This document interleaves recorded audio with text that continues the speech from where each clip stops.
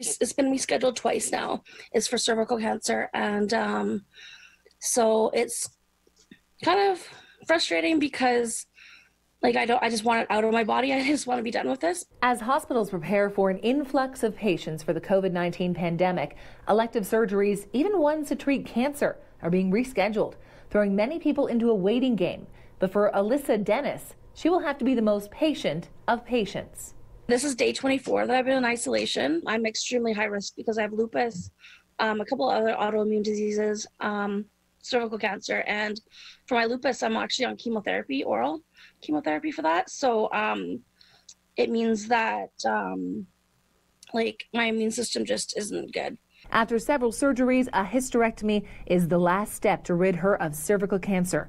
While it's technically still on the books for May 1st, her doctor says expect that to change, which is tough to hear when you know you have a cancer, even a slow growing one, inside you. They don't know if it has gone into my lymph nodes or not. And they'll find out, like, um, I guess, on the operating table was the plan.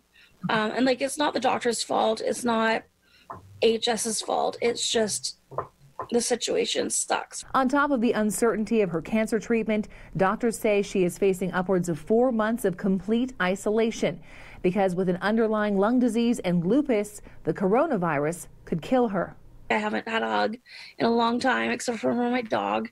So it's like yeah, I I would be like going bonkers right now if it wasn't for my dog. But it's also through the help of friends, family, and complete strangers that Alyssa knows she and all of us can get through this together. 25 people, um, like volunteers, just random people that I don't know, help me out. Through the Leftovers YYC movement, she even received a birthday cake for her big day, Saturday. Planning like a Zoom party kind of thing. Like I'll, you know, just sit and chat with whoever comes by and kind of keep busy. Her advice to those out there having a tough time in isolation so far don't focus on the long term, focus on like each day and like have a, a schedule. In Calgary, Tara Overholt, City News.